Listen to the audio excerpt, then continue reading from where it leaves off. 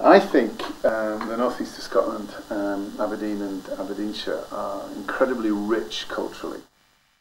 I have a, a thing that that um, is important to me in everything that I do, uh, and that's listening. Uh, listening is a really important activity, and I don't think it's one that we're very good at anymore. Um, and so a lot of my work, all of my work rather, is is is is, is to trying to get people to listen.